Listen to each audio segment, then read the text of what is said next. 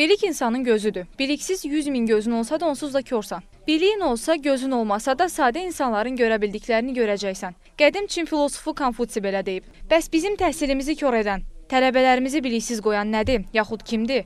Rüşvət yoxsa Ümumiyyətlə təhsilimizdə rüşvətlə mübarizə aparılırmı, yoxsa rüşvət bizimlə mübarizə aparır? Bu yol bizi hara aparır? Bəlkə heç bu məsələdə addımlamırıq, sadəcə yerimizdə sayırıq.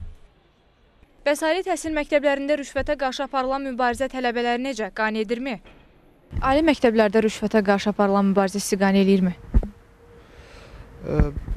Qane eləyir deyəndə vəziyyət düzəlir. Yaxşıdır. Yəni sizcə aparılan mübarizə effektini verirmi? Şəxsən bizim fakültədə verib. Valla mən oxuduğum universitetdə rüşvət olmayıbdı. Ona görə mən bir şey deyə bilmərəm. Hardasa hə, hardasa yox. Sizcə aparılan e, mübarizə öz effektini verirmi? Bəzi universitetlərdə verir. Məsələn, necə deyim sizə, e, universitetlər var ki, Azərbaycanda onlar tam yaxşı formada işlə, e, necə deyim, təhsil verirlər və e, heç vaxt rüşvət tələb eləmirlər. Və bəzilərində var, yəni bunlar qaçılmaz haldır. Mən şəxsən burada oxuduğum 5 il müddətdə rüşvət açıqlayım şey görməmişəm. Yəni ki, müraciət olunsun ki, pul verinə olmayıb açıq. Mən doğrusu kiminsə rüşvət verdiyini universitetdə oxuduğum illər ərzində görməmişdim. Yəqin ki, inkişaf var. Elə də çox yox. Çünki üstünə çox düşmürlər məsələn. Sizcə belə- necə mübarizə aparmaq lazımdır?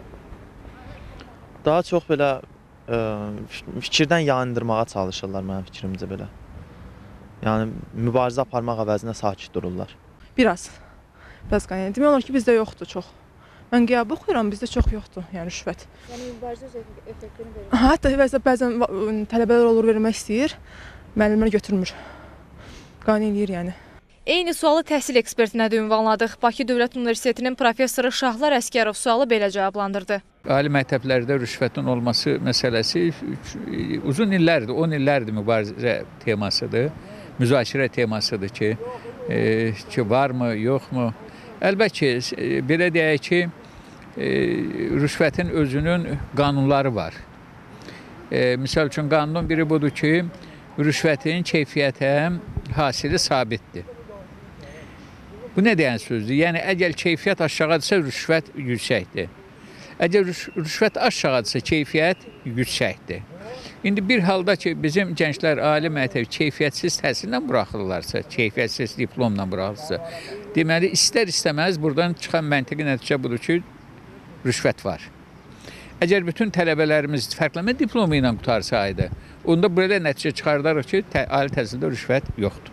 Professor hesab edir ki, ali təhsil məktəblərində rüşvətlə mübarizə aparılır. Nəticəsi isə imtahanlardan sonra məlum olacaq. Şahlar Əskərov əlavə edir ki, rüşvətlə inzibati yolla mübarizə aparmaq effekt vermir. Rüşvətdən yalnız elmi yolla qurtulmaq olar. Nərmin Əhmədli, Elvin Hacıəliyev, Vüsal Babayev, Yurt Xəbər.